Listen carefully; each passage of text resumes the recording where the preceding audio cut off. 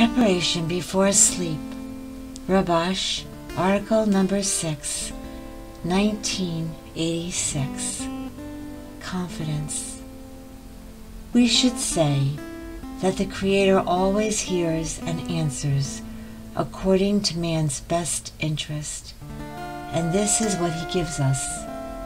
Thus, one should believe that the states that a person feels are what the Creator wants us to feel because it is in our favor. It follows that the confidence that we should have in the Creator is that the Creator certainly hears our prayers and answers them, but not according to our understanding, but according to the Creator's understanding of what we should be given.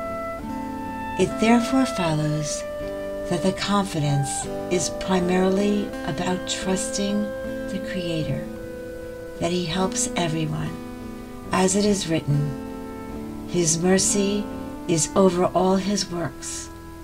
However, the confidence should not be that the Creator will help us according to our understanding, but according to the Creator's understanding.